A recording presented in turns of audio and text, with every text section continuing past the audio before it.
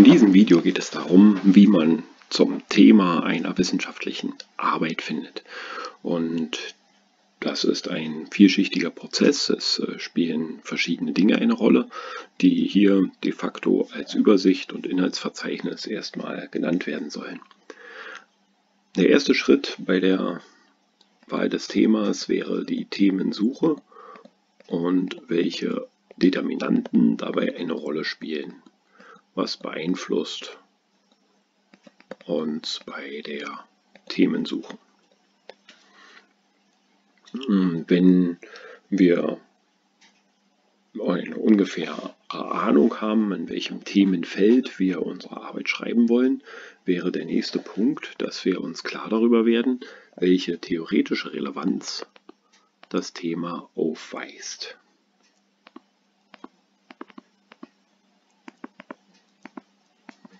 Was versteht man unter theoretischer Relevanz des Themas? Hierbei geht es darum, wie das formulierte Thema sich in die wirtschaftswissenschaftliche Diskussion einordnet. Also warum es aus Sicht der Literatur, der Diskussion in äh, den Zeitschriften und äh, in den Foren sinnvoll ist, sich mit diesem Thema gerade auseinanderzusetzen. Wir begründen also, warum wir ein Thema aufwerfen. Es ist ein bisschen so, als ob Sie sich eine Diskussion in der äh, Praxis vorstellen, also eine Podiumsdiskussion und sich dort zu Wort melden, dann würden Sie auch vielleicht vorher sagen, ähm, warum Sie gerade Ihren Beitrag jetzt erbringen möchten. Und das wäre in einer wissenschaftlichen Arbeit völlig vergleichbar die theoretische Relevanz des Themas. Außerdem wollen wir uns noch, ähm, müssten wir auch angeben, welche praktische Relevanz unser Thema hat.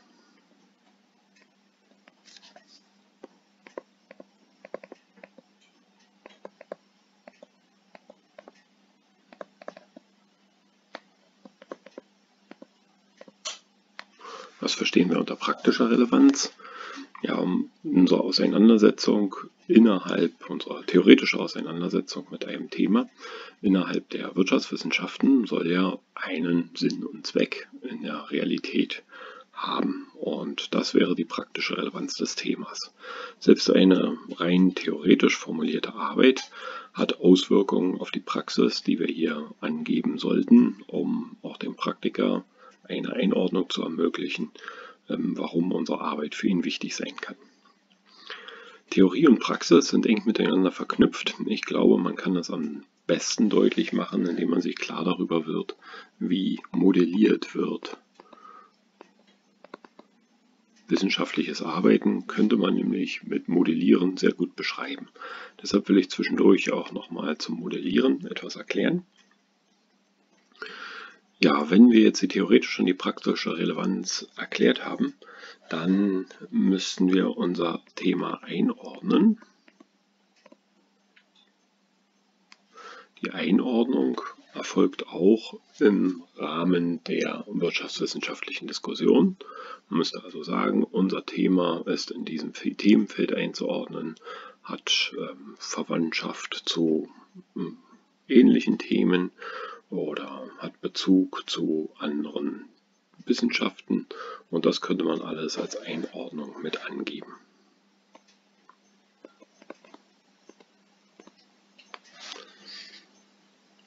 Sehr wesentlich für ein Thema ist auch seine Eingrenzung.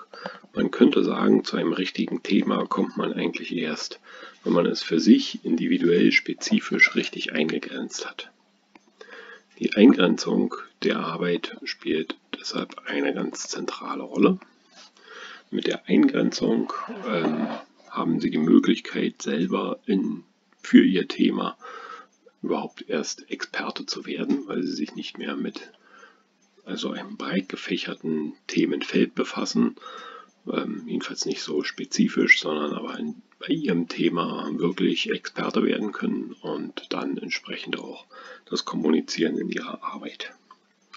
Ja, wenn Sie jetzt ein Thema gefunden haben, dann formulieren Sie dazu die Forschungsfrage, Die Forschungsfrage gibt letztendlich das Ziel der Untersuchung wieder und sollte genau wie die theoretische Relevanz des Themas, die praktische Relevanz des Themas, die Einordnung und die Eingrenzung auch explizit in der Einleitung der Arbeit erwähnt werden. Man kann die Einleitung einer Arbeit im Wesentlichen oder zum Teil ähm, auch als Begründung der Themenwahl auffassen. Also mit der Einleitung würden Sie begründen, warum Sie dieses Thema gewählt haben, würden das Thema deutlich machen und erklären.